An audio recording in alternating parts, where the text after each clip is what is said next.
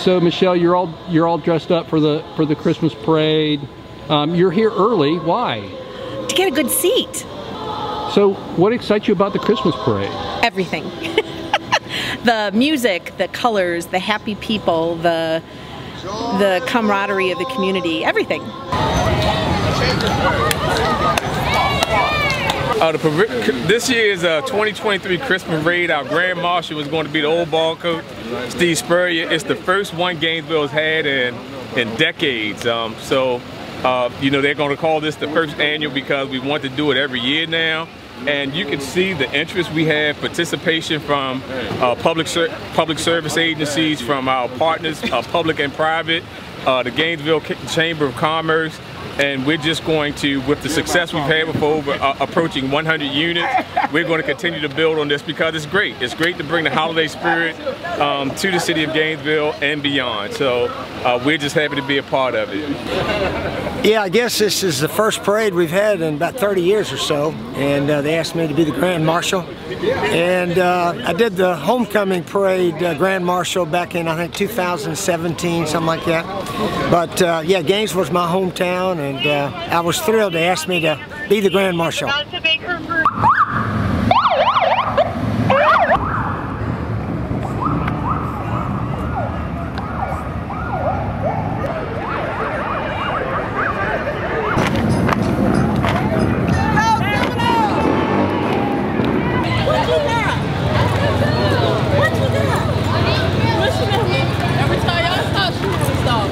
Celebrate baby Jesus on Christmas because that's when his birthday was when he was first born. And so and so you're riding in this you're, you're riding on this float with your with your with your friends and classmates to celebrate baby Jesus.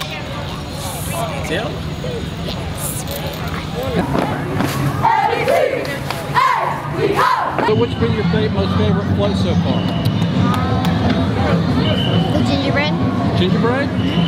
Because they had to blow up the blow up gingerbread people.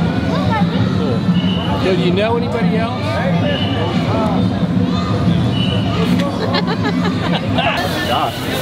You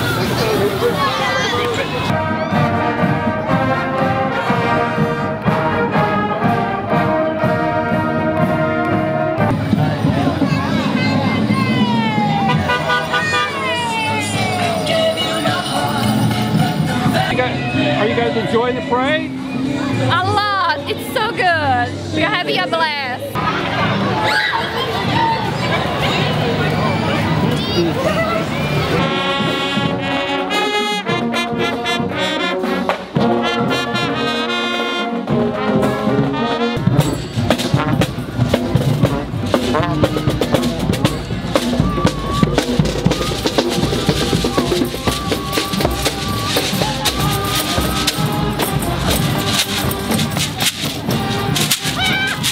Tell me what you thought of the Christmas parade. It was good. It was good. I'm glad they brought something like this back. It was a good turnout and a lot of enthusiasm. We enjoyed it. 30 years ago. Yeah. 30 years ago, and I'm glad they brought it back.